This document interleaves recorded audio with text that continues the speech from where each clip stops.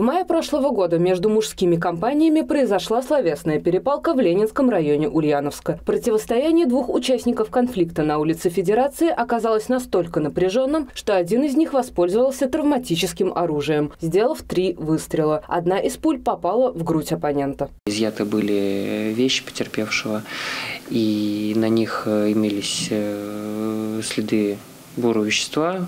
Соответственно, потом в ходе экспертизы установлено, что это следы крови, принадлежащие именно потерпевшему, которые после ранения были.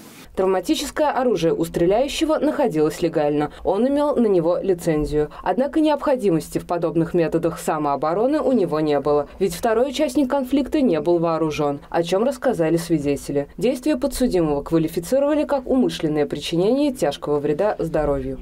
Суд первой инстанции, уголовное дело было рассмотрено Ленинским районным судом города Ульяновска, согласился с квалификацией данной органами гособвинения, стороной гособвинения и назначил наказание в виде лишения свободы сроком на 3 года 6 месяцев военное наказание в исправительной колонии общего режима. Представители стороны защиты не согласились с решением суда и подали апелляцию в Ульяновский областной суд. По результатам рассмотрения апелляционной жалобы приговор остался без изменений и вступил в законную силу. Юлия Руднева, Геннадий Бухтаяров, Улправда ТВ.